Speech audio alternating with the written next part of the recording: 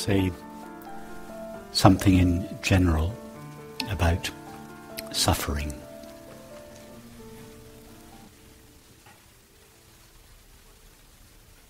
Suffering can be dealt with in various ways in this approach. And each of those ways depends upon the circumstances. So there is no general way to approach suffering.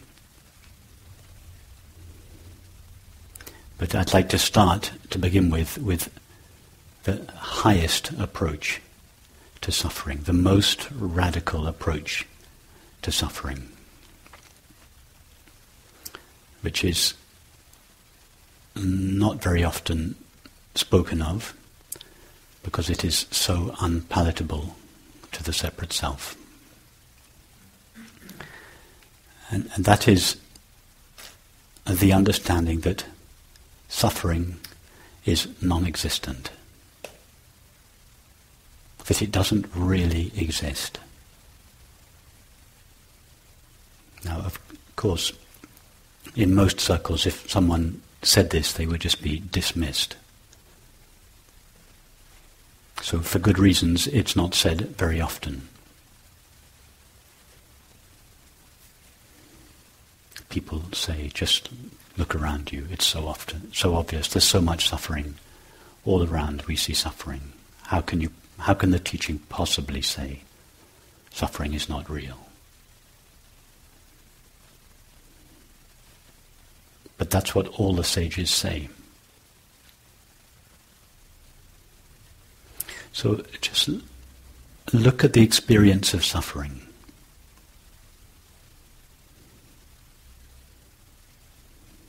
Look at your present experience if you are suffering now, or remember it if you're not.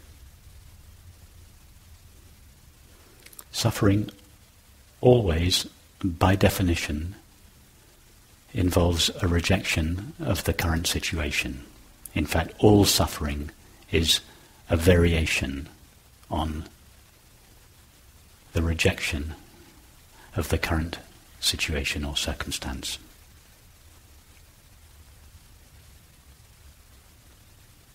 The I don't like what is present, thought and feeling.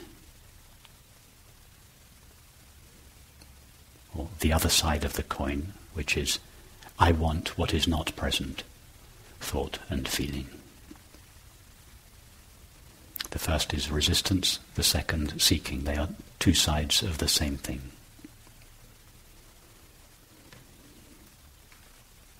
So there is the situation itself and the resistance to that situation. What is it that is resisting that situation? What is saying, I don't like what is present? In what form does that resistance take shape in our experience? The I don't like what is present.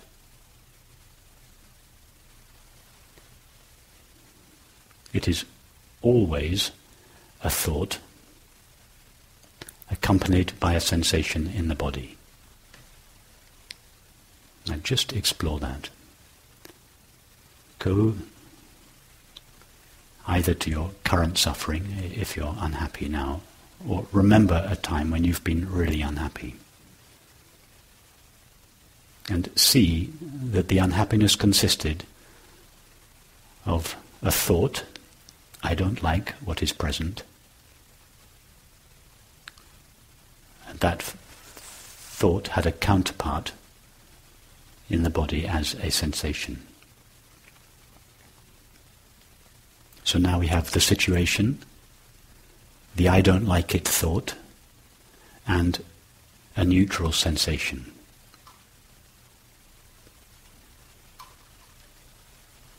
The situation itself is obviously not suffering.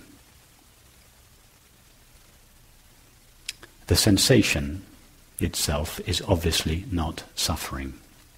A sensation in the chest, just a neutral sensation, cannot suffer.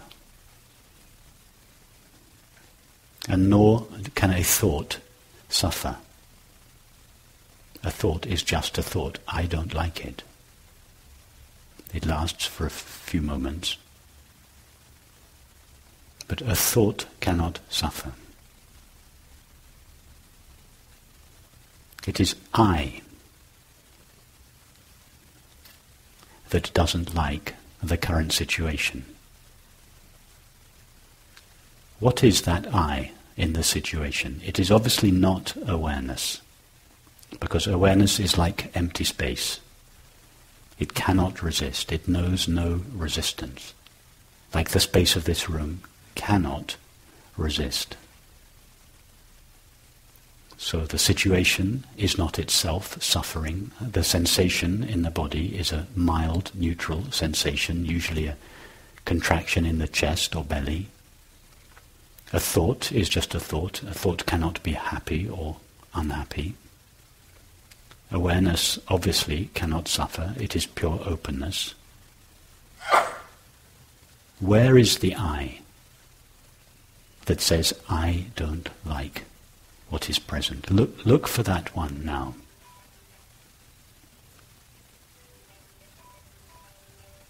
Because all our suffering belongs to that I. Don't just pay lip service to this idea and say, oh yes, yes, it's not there. R- really look. There's the sensation. A thought appears in response to it. I don't like it a counterpart to that thought in the body appears as a neutral sensation. And all this flows through awareness without leaving a trace. Where is the one that suffers? It's just not there. Where is the experience of suffering without that one? Situation isn't suffering. A sensation cannot suffer. A thought cannot suffer. Awareness cannot suffer.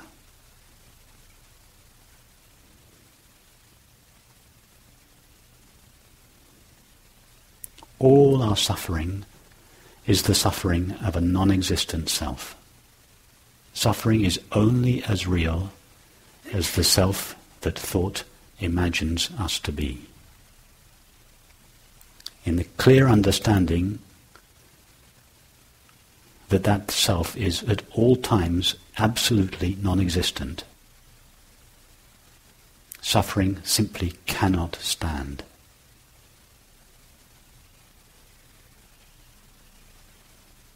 However much we rail against the idea that suffering is unreal, we cannot escape the facts of the situation. It requires some courage to face this fact. The separate self, the separate suffering self is rails in indignation when it hears this. Because it feels that its precious suffering around which its existence revolves is not being given due care and attention. But if we look closely, we cannot escape the facts of this.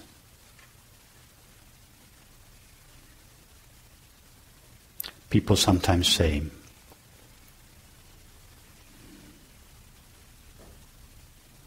there cannot be a God.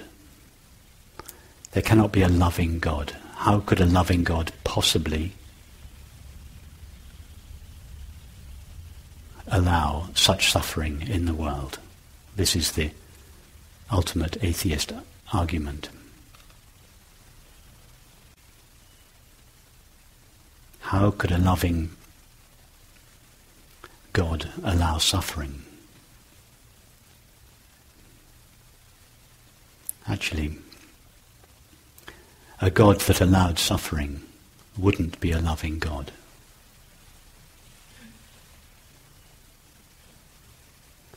A God that knew suffering would be a God that knew separation. A God that knew resistance. A God that knew judgment. A God, a God that knew you're good and you're bad. You're right and you're wrong. How could such a God possibly be called a loving God? A loving God has to be a God that doesn't judge the good people from the bad people, the right from the wrong. A loving God has to be unconditionally loving. And how could an unconditionally loving God know resistance in any form whatsoever?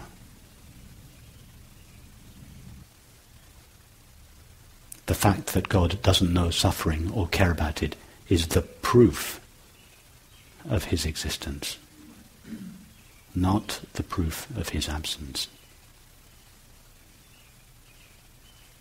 By his existence, of course, you understand I'm talking of eternal, infinite awareness. So, for those of us that are that see this clearly and have the courage to face this fact, that is the way to approach your suffering. It is the, the royal way to approach suffering.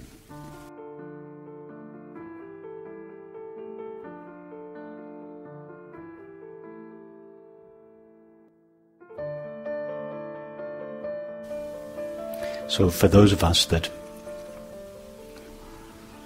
are not able to face so-called suffering in this way, two paths are provided.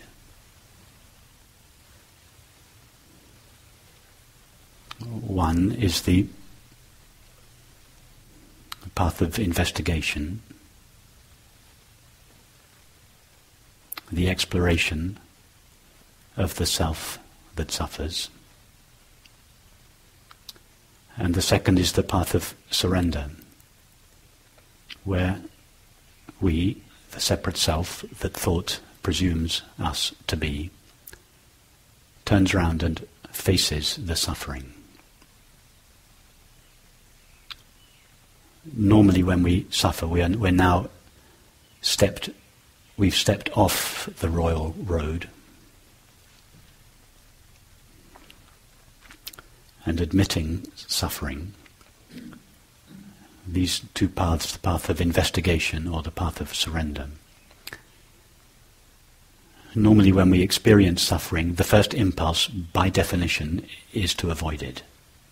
Suffering is, by definition, uncomfortable, so the first impulse that arises is, I'm out of here. The fridge, the bottle, all, we all know the various ways that we avoid suffering, which is a resistance to suffering. The suffering is itself already made out of the resisting thought. Suffering itself is the I don't like it thought. The motivation to escape our suffering in attempt in an attempt to alleviate it is just another resistance. There's the first resistance that we call suffering. The attempt to alleviate suffering is the second resistance. You have to see that clearly. Suffering is the first resistance. I don't like it.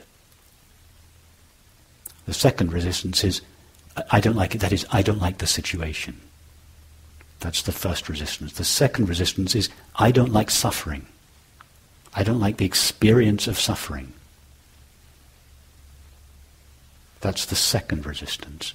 So in anything we do, anything we do, Whether it's the conventional means, the fridge, the bottle, the TV, etc., or the spiritual means, mantra meditation, going to satsang, reading Ramana Maharshi, whatever we do, if we do it with the intention of getting rid of our suffering, we are subtly adding a resistance to what is already a resistance. So the path of surrender is not to act on the impulse to avoid suffering. Suffering is the first resistance. The second resistance, I don't like suffering. Instead of doing what that second thought tells us to do, we turn around and we face the first resistance, the frustration, the hurt, the sorrow, the fear, the longing. We turn around and face that first resistance. And we have to allow that resistance to come so completely into us. We have to face it without the slightest trace of resistance. We have to welcome it into us completely so that we can honestly say, and this is the test, we can honestly say, this feeling, this suffering feeling, can live in me forever. If we can say that to the suffering, we know we are truly welcoming it. If we can't say that, the fact that we cannot say that betrays some resistance to our suffering. So that is the test. We face the feeling, the fear, the sorrow, the lack, the hurt, the frustration. And we face it so fully that there is not the least resistance in us to that suffering. And then we ask ourselves the question, what is the experience of suffering when there is not the least resistance to it? I'm not going to answer that question. We each have to answer that in our experience. Next time we feel this sorrow, instead of being motivated to escape it through conventional means or even through spiritual means, to turn around and face it, open ourselves to it totally, and face it so completely that we can honestly say, I'm welcoming it, you can stay forever. Then look at the suffering and see what is left of it. So those are the three roads. The royal road, in which we don't admit suffering in the first place. We see that suffering is uh, like a hallucination, which, when clearly examined, is not there. It's only there because we haven't clearly examined it. It's still in the shadows. That's the royal road. And then the, the two B roads explore the suffering self through investigation. Or the second B road, surrender, openness, facing the suffering so completely that we can truly say the suffering is welcome forever and then see what remains of the suffering.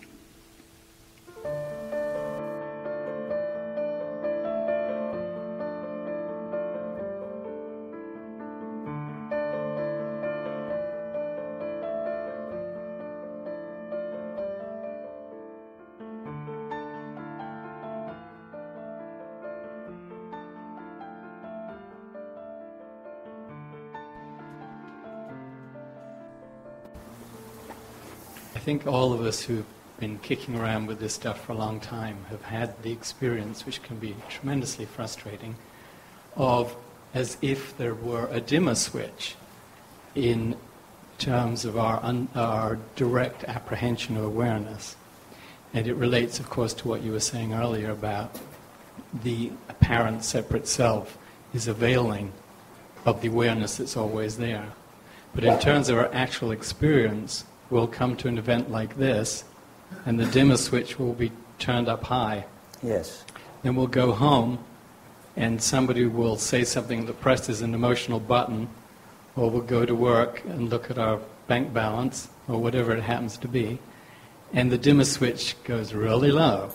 Now, I understand what you're saying, that it is awareness that is aware of the either dimming or the brightening, but nonetheless, in terms of the experiential level of it, there's a huge difference in terms of how it feels.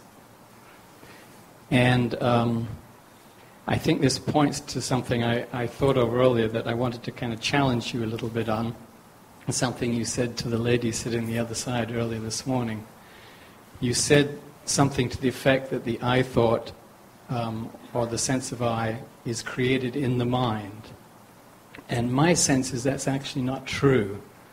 That if I did say that, it, I was just using language casually. There's no mind in which an I thought is created. But I may have said it casually, but I have to trust your understanding okay. to know well, that I don't think there is a mind there in which the, the mind is that very thought at that moment. That's all the mind is at that moment, just that thought.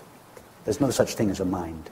Well, the Sorry, James, mind is a, is a, function. I, I understand okay. that it's not really an entity, it's a function. But point being that this, the sense of self, um, it's a bit like one of those sort of um, knockdown dolls, you know, these stress relieving dolls. You punch the thing and the damn thing comes right back up again.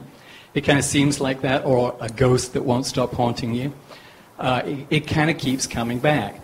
I, I don't, if it was just something that creates itself in the mind in the moment, I don't think it would be quite so persnickety. I think anybody with a simple, you know, good sense of intelligence who hears these arguments, that would be the end of the arising of that sense of self.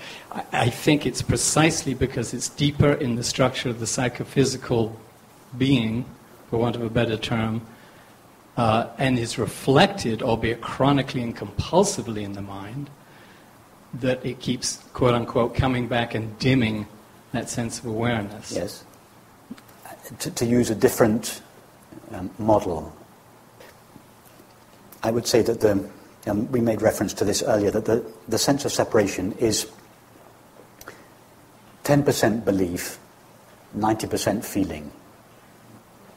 So the original I thought rises as a belief, but it is later validated and substantiated at the level of our feelings. So instead of just being a, a, vulnerable, vacillating thought, it grows depth and substance by taking its home in the body.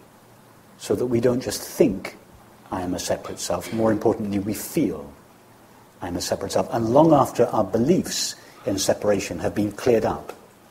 As you quite rightly say, the feelings of separation continue, and, and this is a very, uh, it's a very common condition in our era where the non-dual perspective is available. And many, many people have a clear understanding at an intellectual level that there is no separate self, that the separate self is an illusion. And yet, as you rightly say, that's not enough to put an end to suffering. In other words, that's not enough to put an end to our rejection of the now and our seeking in the future or in the past for happiness. Because by far the larger part of this imaginary self lives on in the body as layer upon layer upon layer upon layer of feeling. And as the layers go down, they, they get subtler, more nameless. To begin with, we can say what our feelings are. I'm angry because of this. I'm jealous of this. But actually, the, these layers, as, as they go down, they become nameless, formless, existential sense of lack, the fear of disappearance. These, so it's true that, that if this if what we're discussing here is going to really impact our lives, if it's going to be more than just an entertaining wonderful idea, a wonderful new possibility, if it's really going to cut the ice in our experience, th- this deeper level, the felt sense of separation, um, has to be explored. We explore, first of all, the beliefs in separation. I mean, for instance, today, most of our conversation has been exploring the belief in separation. And it's why very often it takes more time than just one or two meetings to clear up all the levels of belief, because that, that's where we first go. The, the, the mind rises up and says, no, awareness is limited, it's finite. It's...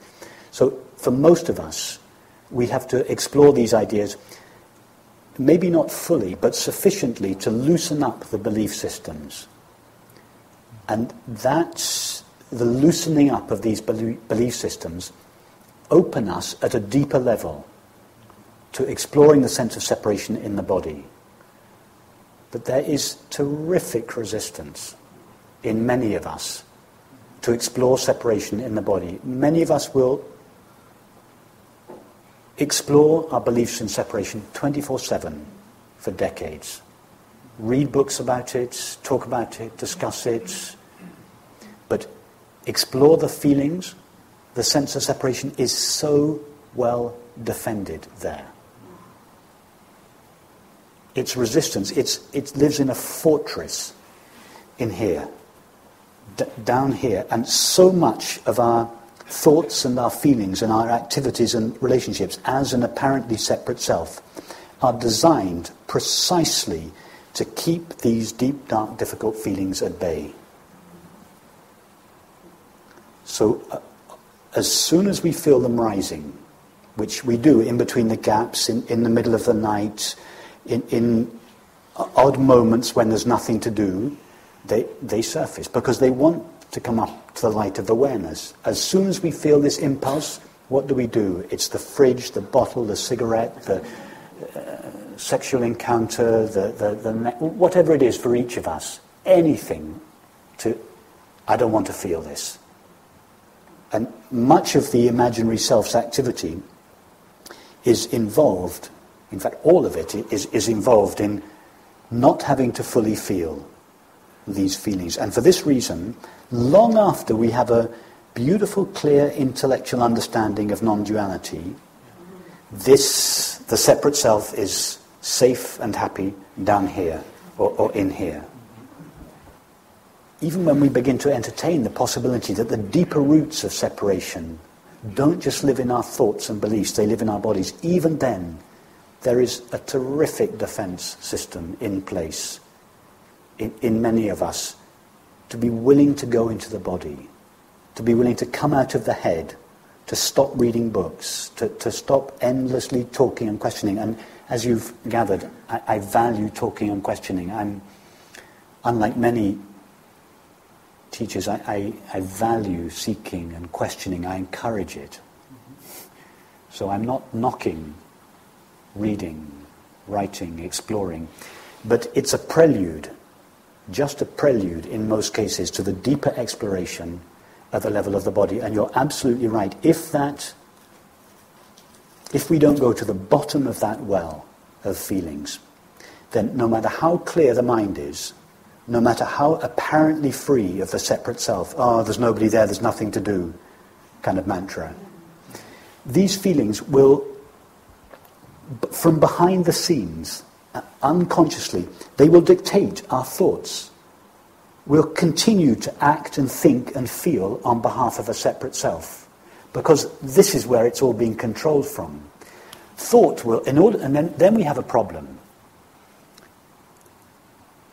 thought says there's nobody there. There's no separate self.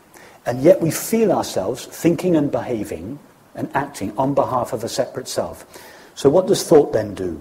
Through some convoluted act of reasoning, it appropriates the Advaita teaching and says, oh, my obnoxious behavior, my suffering, my unhappiness is just an expression of awareness. There's nothing to do about it. There's nobody there. Bullshit. We're just fooling ourselves. The separate self has just dressed up as some pseudo enlightened self and is appropriating the Advaita teachings in order, again, to successfully keep these deep, dark, difficult feelings at bay. And this is a classic thing on the contemporary Advaita scene. Mm-hmm. I agree. Oh, my, my suffering is just an expression of awareness. Of course, ultimately speaking, it is. But until the whole system is free of contraction and suffering, we're not entitled to say that. It would be better to be more honest and say, in spite of my clear intellectual understanding, these residues of suffering are still compelling my thoughts and, more importantly, my activities and my relationships. Why are there still conflicts in my relationships when I know there is no separate self? It's because I still feel that I am a separate self and you are a separate self. So here there's a crisis. Are we just going to carry on the non-dual mantra, there's nobody there, there's nothing to do, all my suffering is just what's happening now? Or are we going to have the courage and the love to face these feelings, to allow them to come up, and, and, and to stay in place, not to reject them, not to express them, but to let them sh- fully show their face, show what they're made of. When we first hear this teaching, we think, oh, everything should be peace and light and happiness. If that's what my true nature is, unperturbable peace, then actually life's got rough, rougher since I started doing, and doing this. And it's precisely doing this, exploring this. And it's precisely because we are truly taking our stand as awareness. There's no longer any impulse, there's no longer an entity present rejecting these feelings. So the lid is taken off. They come up. It feels worse. We thought, I thought meditation was supposed to be peaceful. This is just tortuous. There's, there's this wave after wave. One layer of feelings comes up, and then sure enough, as soon as it's passed through, there's the next one, even deeper, even darker. And it's, you're right, it takes some courage. It's courage and love. Not to contract and say no. To, to allow this, because there is a bottom to this well. The, the, the fear of death that you describe is, is one of the essential forms of the separate self. The sense of lack is, is another. But this fear of disappearance, the, that I am going to die, is one of the, one of the essential forms. So as that begins to show itself, it, it's, it's very good. And we may notice an impulse to avoid this fear of death. It's just too much. I, I'm going to die. Go for the whatever it is. But if we say no, if we totally say yes, and awareness is already saying yes to everything. Awareness says only knows yes. So it's not something we have to do. This surrender. Surrender is the nature of awareness. Awareness is totally surrendered and open, 24/7. Thank you for bringing that up.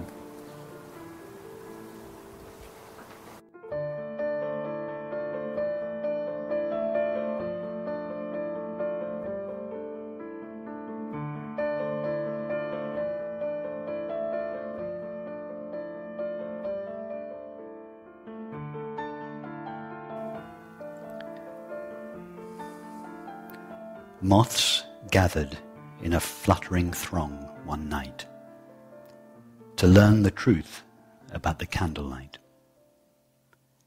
And they decided one of them should go to gather news of the elusive glow. One flew till in the distance he discerned a palace window where a candle burned, and went no nearer. Back again he flew to tell the others what he thought he knew. The mentor of the moths dismissed his claim, remarking, He knows nothing of the flame. A moth, more eager than the one before, set out and passed beyond the palace door. He hovered in the aura of the fire, a trembling blur of timorous desire. Then headed back to say how far he'd been and how much he had undergone and seen. The mentor said, You do not bear the signs of one who's fathomed how the candle shines. another moth flew out. His dizzy flight turned to an ardent wooing of the light. He dipped and soared, and in his frenzied trance, both self and fire were mingled by his dance. The flame engulfed his wingtips, body, and head. His being glowed in a fierce translucent red. And when the mentor saw that sudden blaze, the moth's form lost within the glowing rays, he said, He knows, he knows the truth we seek, the hidden truth of which we cannot speak. To go beyond all knowledge is to find that comprehension which eludes the mind.